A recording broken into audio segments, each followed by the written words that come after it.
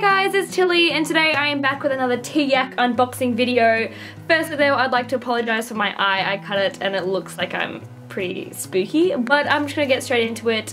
And so this box is the July box because I forget what month it is. And it is Ladies Who Slay, and I'm very excited because I can think of so many amazing female characters in YA that absolutely slay everything. So let's get to unboxing it. So firstly we have some little temporary tattoos. Um, these are from what I'm guessing is Divergent when Tris gets her tattoos and looking closer it says welcome to the hub which means that I am correct. Um, I'm very excited. I'm probably going to use these because I love temporary tattoos.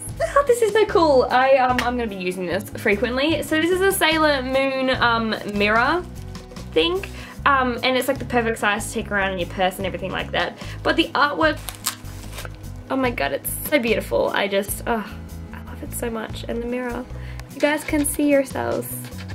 Look at you, you're beautiful. Oh, yes, yes. Okay, so for those of you who know, one of my recently favourite books is A Court of Mist and Fury.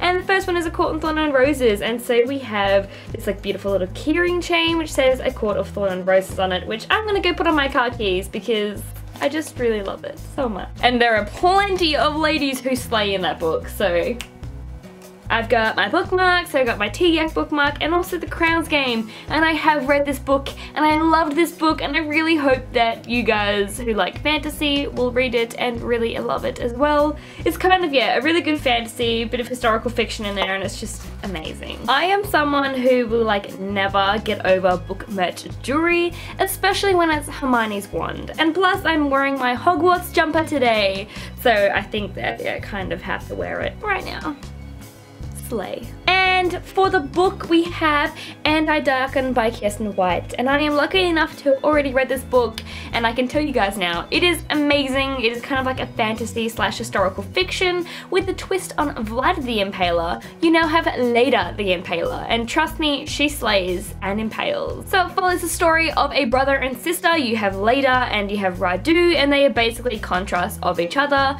Lada is ugly and mean and brutal and strives for success no matter who she mows down and Radu is a sweet, caring, emotional, gentle, beautiful boy that needs to be protected forever. And it follows their journey and you go on this like long ride with them and you can't help but fall in love with them and a few of the other characters in the book but it really was a really good book to read. It was refreshing. It is an easy book. It's, yeah, it's quite great.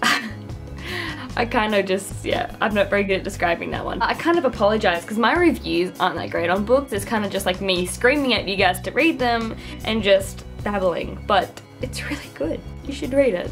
And now for the TYAC card, which I will read out because these girls do better justice at saying the words than I do. So what's in the box? Volume 11, Ladies Who Slay. Fellow bookworms take a deep breath and dive into the alternate retelling of Vlad the Impaler.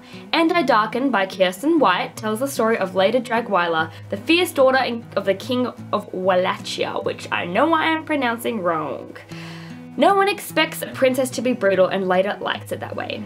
You can't think of strong female characters without thinking of Sarah J Maas and we hope you love your Throne of Glass or a Thorn and Roses keychain by the lovely Belle Regalia. Find the store on Etsy, which I'm going to have to do because I need the Throne of Glass one as well.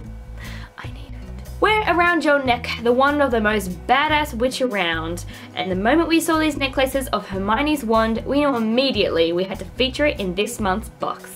Show off your rebellious side with Tris inspired temporary tattoos from Welcome to the Hub on Etsy. We've collaborated with two amazing stores to create the last item of volume 11. Take a Sailor Moon print from Juicy Ginger on Etsy and combine it with the amazing ladies from Button Empire and you get these beautiful Sailor Moon makeup mirrors, Moon Prism Power makeup. I will leave links below to the TYAC website and their Twitter and all the other stuff that I can find. And I will also leave links to the blogs of the two great girls who created this box so you guys can go and delve into like their past boxes and look at all the beautiful pictures and stuff like that. Thank you guys for watching. I shall hopefully see you guys soon. I'll be back with another video and hopefully all healed up and not so creepy looking. And until then, I hope that you guys have a wonderful time and read many great books. And yes. And until next time, you guys just continue to slay.